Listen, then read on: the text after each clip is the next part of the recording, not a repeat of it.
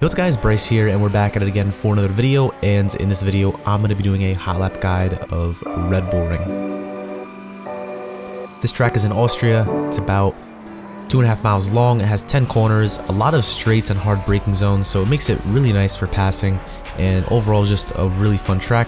I'm going to be driving the Lamborghini around here but pretty much everything applies for all the other uh, GT3 cars and cars alike. So without further ado, let's get right into this. So going down into turn 1, we're going to use the curb on the left, brake really hard and late going into turn 1, using this curb on the inside to sort of launch ourselves onto this straight here. Be careful with the curb on the inside, it can definitely unsettle the car, but you really want to use that because you can kind of just cut turn 1 um, essentially, but the yellow sausage curb you want to avoid. Um, same thing going into turn 2 here, we're going to be braking at the 100 meter board really late uh, braking here, but you really just want to roll the car in get on the power as soon as you can. Watch out for the bump there. There's a little bump and the rear end will get really light and that's just really not good because you you'll activate uh, TC in the GT3 cars. And then going down into turn 4 actually that last corner was turn 3 um, going down to turn 4 braking at the 100 meter board second gear. I personally use first gear but it's probably not the quickest way around. Um, using all the track there on the outside going into turn 6 right up here, braking right before the 50 meter board. This is a trail braking corner, really easy on the brakes and you want to kiss this curb on the inside, use the curb on the outside. We're going to be going all along this curb. So the next corner down into third gear, um, use the throttle to rotate the car through this corner, use the curb on the right and staying sort of the middle of the track here. You can gain a little bit of time um, by not drifting out too far wide. My favorite part of this whole track braking lightly at the 50, use the brakes to rotate the car in, use the curb on the outside, stay on the outside before you're going to flick it to the inside, down that little crest there, and boom, that is a lap of Red Bull Ring. Now let's slow down for more of a in-depth guide. Alright, so going down into turn 1, this is an uphill corner, so you can really keep this in mind because you can definitely brake a little bit later than if it was a downhill corner. Um, I'm braking at the 100 meter board. You can get away with braking a little bit later, but again, we want to be able to carry as much speed as we can through turn 1. Um, so a late apex is ideal. Getting on the throttle as soon as you can is also another thing you want to be able to do.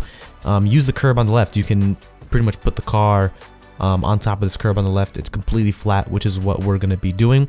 So you can see here, we're going to be braking really hard, peaking at 90%, slowly releasing the brakes, and once we're off the brakes, back on the gas and using the curb on the inside. You can see our throttle trace is just nice and aggressive, just straight up. Um, you won't uh, get too much wheel spin in a GT3 car going into turn 1.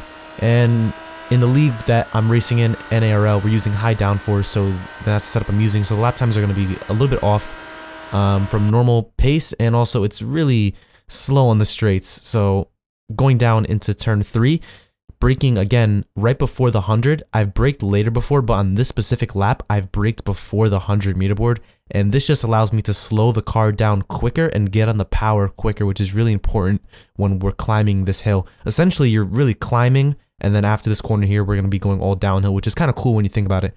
But again, going into this corner, at the 100 meter board, use the curb on the left, same thing as turn one. Once the curb starts to end, first gear, once you hit this curb, that's kind of your marker for getting back on the power. Um, use the track on the left. You pretty much want to just roll through this whole corner. Um, try to keep it as smooth as possible. Just the whole um, momentum of the car going through that corner. Use the curb on the outside. It can really um, help you there. Going down into turn four, this is a downhill corner, so you're definitely going to feel that you can't brake as late as you can. But this corner is about slowing the car down, as fast as you can and then rotating that rotating the car um, so you can get on power as quickly as you can and we're going to be using the curb on the inside to sort of uh, hook ourselves into this corner and you'll see how we do that here braking before the 100 meter board using the curb on the left all these flat curbs you can use them without any problem here so you'll see here we're peaking basically at 100% a really hard braking zone and we're going to be rotating the car in. You can see we hooked the right tire on the curb and that allows us to get a little bit more rotation.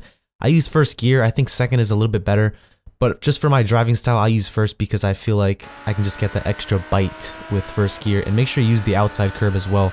You can definitely use a little bit more of that. Going into turn six, this corner is really tricky, um, especially in the Lamborghini, the rear end will get super light. So braking before the 50 meter board is where I'm braking. Again, using the curb on the right and my strategy is to just slowly roll the car in and slowly turn the car into this corner. Don't do anything aggressive with the steering or the braking because that's when you will unsettle the car and you want the balance to just be perfect. It's downhill as well and you'll see here turning in right when we pass the 50.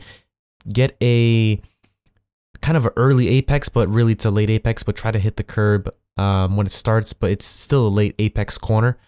Um, and then we're going to be using the curb on the outside here. Be careful. You don't want to go too far wide there. The red and white is as far as you can go.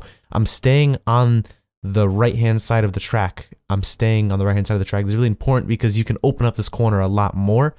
And once the curb ends, that's when I'm braking lightly. Um, not crazy light, but I'm braking pretty light compared to all the other corners. And then I'm going to be using the throttle and the brake to sort of balance the car and rotate the car into this corner um, here. Kind of want to take like a mid line through here, but taking a late apex.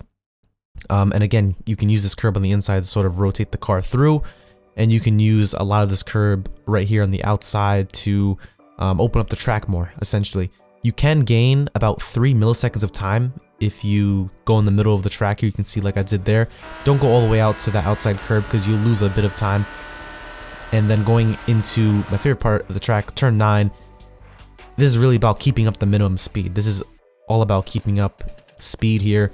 Braking before the 50 meter board and I think I downshift to third for that extra rotation as usual. And then we're going to be turning the car in, flicking the car into this corner. Use this inside curb to kind of latch on to this corner. You can cut a little bit of, you know, the corner with the curb. Use this outside curb you have until the green and white. Stay on the outside here so you can open up this last corner, turn 10.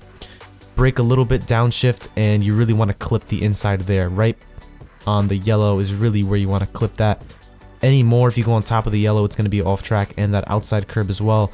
Uh, be sure to be careful because if you do go outside the green and white on that last corner, you'll get a slowdown or even off track. So um, that's probably where you're going to be getting most of your off tracks. It's really tricky because um, track limits are kind of cruel around here. Um, they're not cruel, it's just you're carrying so much speed through those last few corners and it's also downhill, so naturally the car is going to be sliding a lot more.